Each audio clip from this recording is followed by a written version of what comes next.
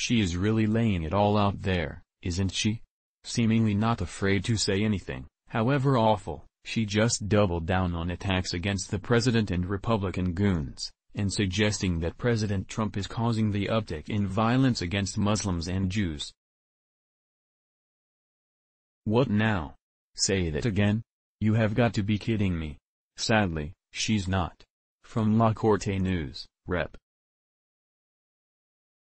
Ilhan Omar, DMN, blamed President Trump and his administration for the surge in violence against Muslims and Jews and said Islamophobia and anti-Semitism are two sides of the same coin of bigotry, Newsweek reported. Her address, speaking before a crowd of over 100 people at an event organized by Black Lives Matter on Tuesday, Omar ramped up her attacks on President Trump and his administration.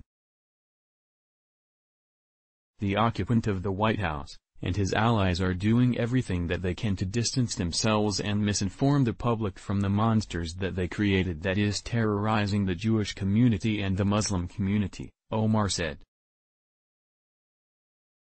Cause when we talk about anti-Semitism, we must also talk about Islamophobia. It is two sides of the same coin of bigotry, added Omar, who herself has been denounced for anti-Semitic rhetoric. This is not going to be the country of the xenophobics.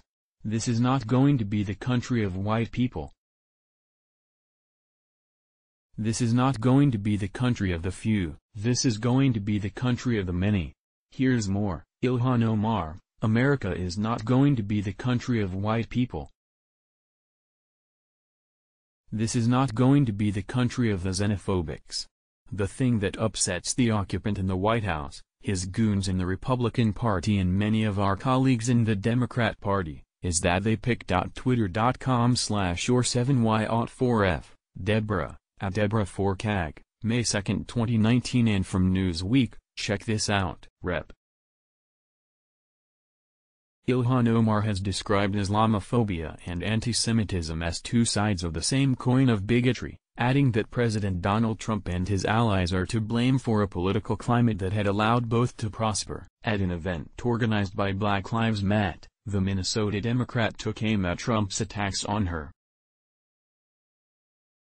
She says she had received an increase in death threats since video emerged in which she spoke of a rise in Islamophobia following the 9-11 attacks in New York. Trump tweeted a video of her words next to images of the terrorist attack. Omar also drew on the outpouring of emotion after the attack on the Chabad of Poway synagogue in a San Diego suburb. The occupant of the White House, and his allies are doing everything that they can to distance themselves and misinform the public from the monsters that they created that is terrorizing the Jewish community and the Muslim community, she said, NBC News reported. This is not going to be the country of the xenophobics. This is not going to be the country of white people. This is not going to be the country of the few. This is going to be the country of the many. Prominent activist Angela Davis and Massachusetts Rep. Ayanna Pressley organized Tuesday's event, which was billed Black Women in Defense of Ilhan Omar, The Hill reported.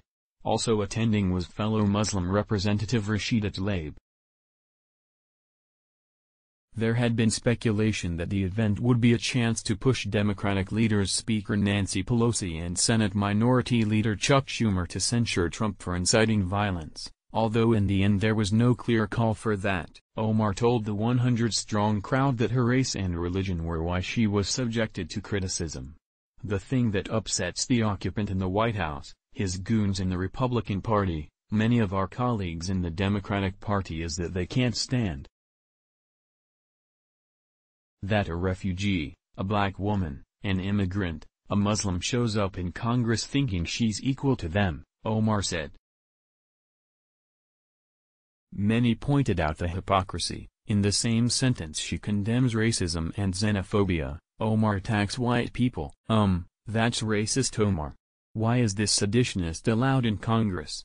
Bill Mitchell, at Mitchell v. May 2, 2019 Do you want Omar out of office?